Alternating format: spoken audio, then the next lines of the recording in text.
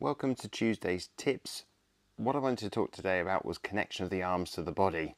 Do you feel as though you swing the club this way, where your arms feel like they're just swinging on their own accord, um, no direction and no control?